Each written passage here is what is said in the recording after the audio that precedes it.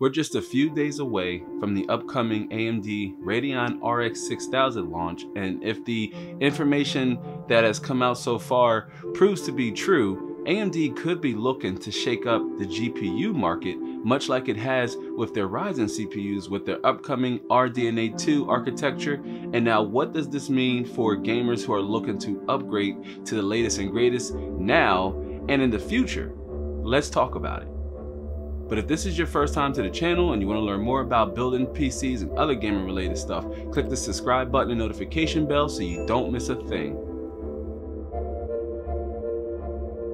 What's happening YouTube and the internet? Terrence here. We are back inside the lab. We're talking about the upcoming RX 6000 launch that AMD is set to reveal this Wednesday, October 28th. And now we did get a little preview at the end of the Zen 3 reveal uh, a couple weeks back where we saw presumably the 6900 XT running a benchmark at 4K. And quickly going over the specs, starting with the Radeon 6900 XT, which is set to have the Navi 21 XTX GPU aka Big Navi, but it's set to have 80 compute units or 5,120 stream processors. It's going to run at a frequency of 2,040 megahertz. That's the that's the game clock speed, and then 2,330 megahertz at the boost clock frequency with 16 gigabytes of VRAM on a 256-bit bus and a bandwidth of 512 gigabytes per second.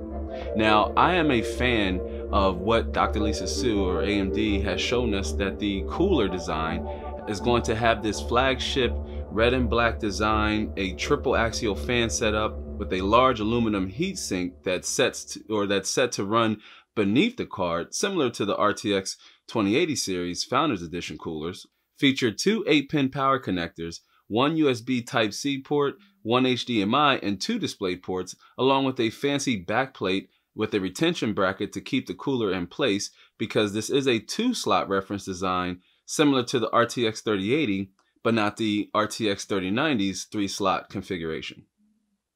And now for the 6800 XT, I do believe that we are going to see two different variants, one with the Navi 21 XT GPU and the Navi, and the second one with the Navi 21 XL GPU. With the 6800 XT with the Navi 21 GPU, XT GPU, it's going to have 72 computational units or 4,608 stream processors. And then the cut down version of that, the 6800, will have 64 CUs or 4,906 stream processors, but both will have the same 16 gigabyte VRAM buffer, but will feature different clock speeds of around 18, 15, 1,815 megahertz and a boost clock frequency of 2,105 megahertz. The 6800 XT series is going to be one of the most sought after graphics cards, in my opinion, in the entire product stack. If you think about you know AMD's pricing, how they've done it, you know how they how they've priced their graphics cards in the past, where you have generally the the 90 and the 80 series where they're higher end cards, and the lower end cards are like your 70 and 60 series cards. But somewhere in the middle, I think the 58 the 6800 XT is going to be a 1080p high refresh rate card or a, a solid 1440p card that's going to be able to drive refresh rates over, you know, 100 to 144 hertz.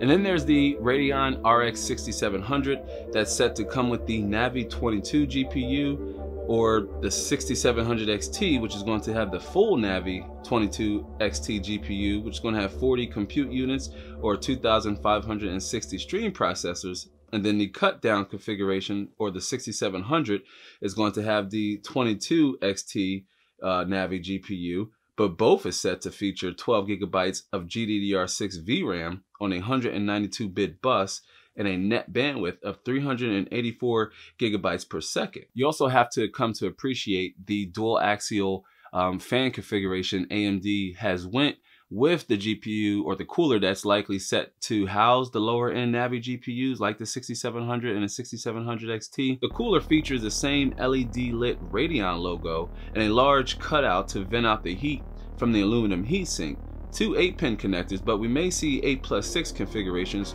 for more power optimized variants. this cooler should house the Navi 22 GPUs as it's slightly smaller but still larger than the Navi 10 RDNA 1 GPUs, aka the RX 5700 series. And then there's the unknown variable, right? And that is how will these graphics cards be priced? Because everything has leaked out from performance to specifications, but the pricing. But here's my prediction. The way I see it is we could see the 6900 XT at a price point of between 500 to $600 to make it competitively priced to an RTX 3080 and then the 6800 XT and XL with the XT variant coming at it coming in between 300 to $400 and the 6800 XL at about 200 to $300 to compete with the RTX 3070 and the upcoming possible 3070 Ti or 3060 and we're going to talk about that a little bit more down this vlog. And then the 6700 series with the 6700 XT at somewhere between $200, 200 to 229 or 249, and then the 6700 under $200, which would be faster than anything NVIDIA has to offer right now at this price point.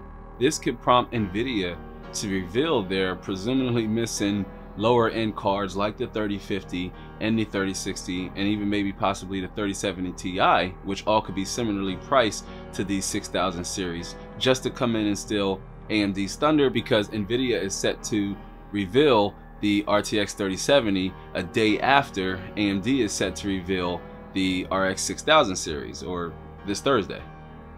And then of course no leak would be complete if we didn't get performance metrics along with the specifications. And if you take a look here at the 3D Mark benchmarks that came out, which had the 6900 XT pitted up against the RTX 3080, which is a $700 graphics card, if you can find it at MSRP.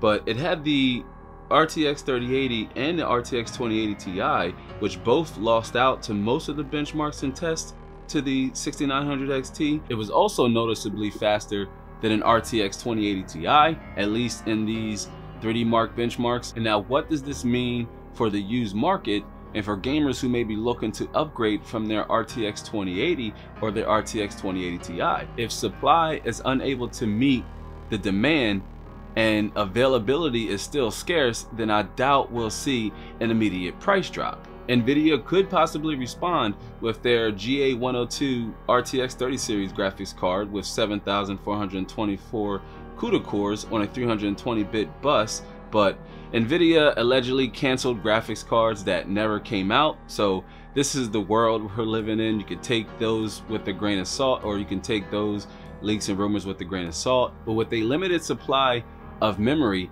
RTX 3080 20GB and RTX 3070 16GB variants still could come or is still likely to come just in the form of a refresh with a Super Series.